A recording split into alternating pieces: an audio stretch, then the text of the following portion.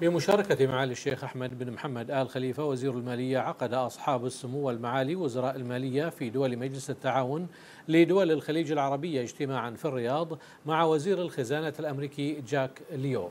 ويأتي هذا الاجتماع الذي سبقه اجتماع أصحاب السمو والمعالي وزراء المالية في دول المجلس مع مديرة البنك الدولي مساء أمس كريستين لاغارد.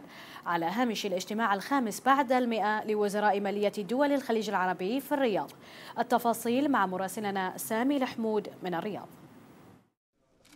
بحضور معالي الشيخ أحمد بن محمد آل خليفة وزير المالية في مملكة البحرين عقد أصحاب المعالي والسعادة وزراء المالية بمجلس التعاون لدول الخليج العربية في الرياض.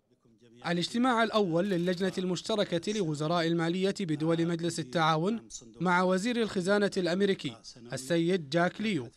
تم خلاله بحث القضايا المالية والنقدية المشتركة بين دول مجلس التعاون والولايات المتحدة الأمريكية. اجتماعنا الآخر مع وزير الخزانة الأمريكي أيضا كان الهدف منه الحديث عن مجموعة من الأمور اللي تهمنا كيفية زيادة التعاون والتبادل المالي والاقتصادي وأيضا كيفية تسهيل إجراءات التحويلات المالية لجميع المؤسسات من خلال الأنظمة الموجودة حاليا وتطويرها بحيث يستطيع كل من يريد أن يحول مال بسهولة وبيسر وفق الأنظمة المعمول بها حاليا لدينا.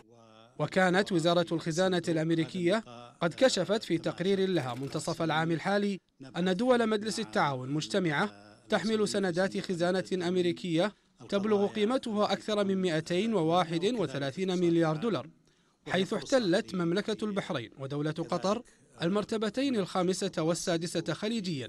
من حيث حجم الاستثمارات في السندات الأمريكية.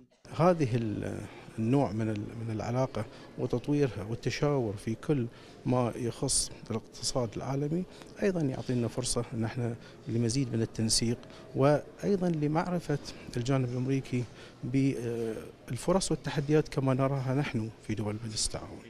وكشف التقرير الصادر عن الخزانة الأمريكية أن استثمارات الدول الخليجية تتمثل في أذون وسندات الخزانة الأمريكية فقط. ولا تشمل استثمارات دول الخليج في الولايات المتحدة سواء كانت حكومية أو خاصة.